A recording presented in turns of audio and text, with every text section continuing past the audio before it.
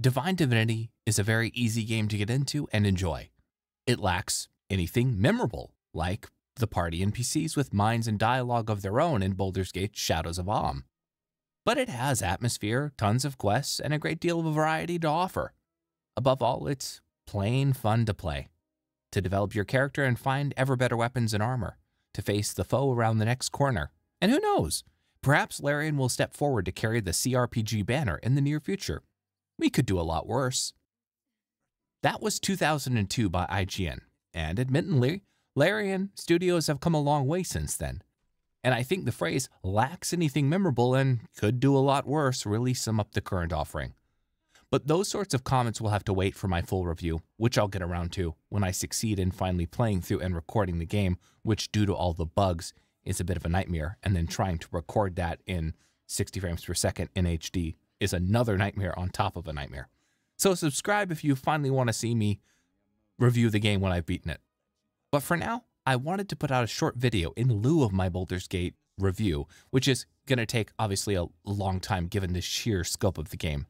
And if it is anything as buggy as early access, and so far my impressions are that it is, if anything, it seems more buggy than early access, which is just bizarre, the amount of reloading and stuff will drag this out hugely. I may not even finish it in the end, but who knows? I'll try my best.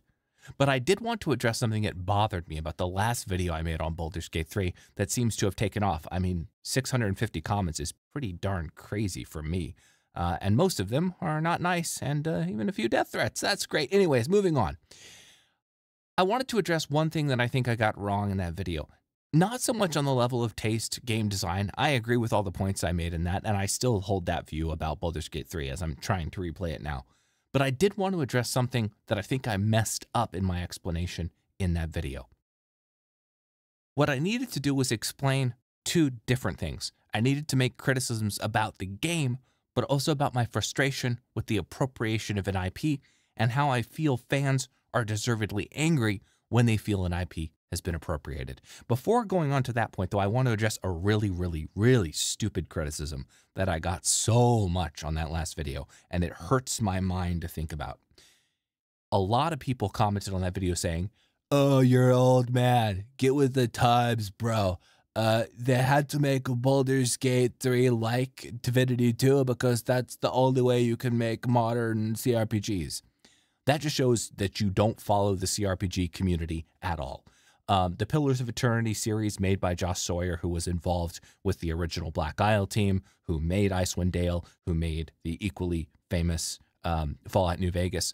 There are he's completely capable of making a good 2D RPG. Underrail is an underrated but great game. There have been many, many successful traditional 2D RPGs. Uh, the Pathfinder games. The idea that Baldur's Gate needed to be remade in a way that is almost identical in feel to the Divinity series in order to be successful or continue on the legacy is just mind blowingly false and shows that you're either just a deluded fan of Larry Larian games and think that everything they do is the only way that games should be made, or you just don't know that much about CRPGs and you probably just played Divinity 1, and Divinity 2, and that's that's the, the extent of your experience with Divinity. So, anyways, on to the, the real topic. Sorry, I went on longer than I intended to there. If you've subscribed to my channel, you probably have noticed that I recently did a video on the fall of Interplay and the collapse of the of, uh, Fallout Project Van Buren, and uh, how Bethesda then swooped in during the bankruptcy process in Interplay and managed to uh, uh, pay some of the debts that Interplay was suffering from in exchange for getting the rights to make three Fallout games with that IP. Those games would turn out to be Fallout 3, Fallout New Vegas, and Fallout 4 really paid off for them monetary monetarily wise. Monetary wise, Mon- uh, they made money. I cover in that video how they made Fallout 3 using their own in-house engine. At the time, that was what we colloquially called the Oblivion engine. And I covered how they lent this engine to the original developer of Fallout 3, i.e. Fallout Van Buren, Josh Sawyer, when they realized their in-house studio talent wouldn't be able to produce an immediate follow-up to Fallout 3 given their work on Skyrim. Now, I thought this was a nice story because it showed Bethesda's respect for the IP they had acquired.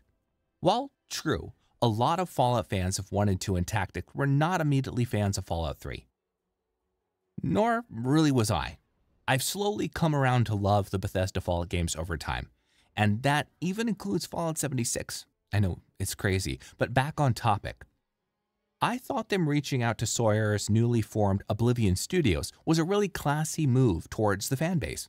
They knew that Bethesda's way of doing things might have alienated some fans, but nonetheless they wanted to keep them appeased. They wanted the feel of the original Fallout games, even if it was going to be made in their own engine. They wanted in narrative, sound design, and lore to feel like it was a Fallout game. And in my humble opinion, it turned out amazing. I think Fallout New Vegas converted a lot of old Fallout fans into thinking the new 3D FPS style of Fallout game was a valuable game and could work and could be fun and could carry on the legacy and, more importantly, the lore and the narrative of that world. It was never going to go back to the old CRPG days, but we could enjoy Fallout in a new way. And so, if you've been following my line of thought, you're probably thinking, whoa, old man Banjo, that just means you're wrong about Baldur's Gate 3. I mean, if anything, Larian, the most successful modern CRPG developer, are paying homage to the originals. They're still top down games. It's not like the game got turned into an ARPG suddenly. Well, you might be right. I need to play through 3 to see if I can stomach it, to figure out whether or not that's true.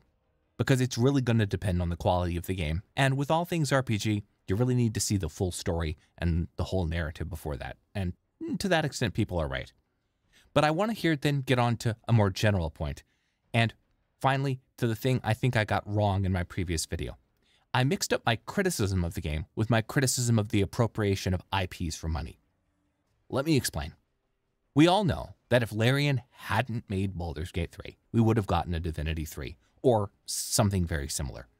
Divinity is a series that, as the IGN reviewer said, lacks anything memorable, and I agree with them. It's fun to mess around with in multiplayer, but when you compare it to Icewind Dale, Baldur's Gate 2, or even some of the very weird and quirky RPGs in the same era, such as Ultima, not to mention games like Mass Effect and the work put in by people like Casey Hudson into narrative design, to put it politely, the games just feel a bit dumb. But I'm getting a little bit off topic again. Star Wars. What I want to talk about is Star Wars. I don't like Baldur's Gate 3 being Baldur's Gate 3 for the same reason I don't like new Star Wars being new Star Wars. I actually liked the first film. I don't mind The Mandalorian either, but I've been told not to keep watching it. But the point is, it's not about the quality of any individual show that Disney puts out. Disney could have made a decent sci fi on their own. New series, new ideas. Remember the days of Stargate, Battlestar Galactica, and its remake? which is probably my favorite show of all time. Heck, even today we're blessed with The Expanse, which is really, really rare in quality, at least in my opinion. You can make something new that is good, and Larian have already proven they can do this objectively. Whatever I think about their games, people love them. My younger friends, who would be way too young to remember the heyday of CRPGs in the 1990s, have gone back and played many of these games, such as Baldur's Gate 2, because of how much they loved Divinity 1 and 2. And that is really an amazing feat for Larian Games to have accomplished.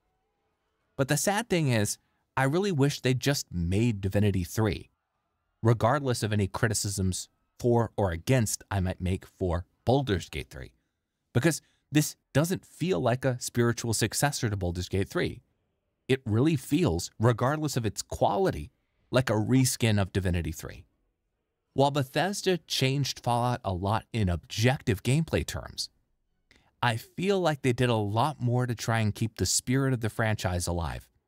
And I just don't feel that level of respect from Larian. And their trailers, their writing, their character design, and their lore don't convince me they particularly care to either, which is their right. They own the IP, and they will do with it what they want to do.